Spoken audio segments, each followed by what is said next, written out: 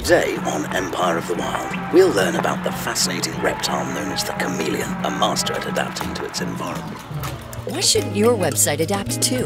At LRS, we build websites that respond automatically to today's changing environments, from desktop computers to laptops to tablets to smartphones. Does your site change to fit all these devices for customers? We'll make sure it does. Get the LRS Advantage from a global provider of innovative IT solutions for more than 35 years.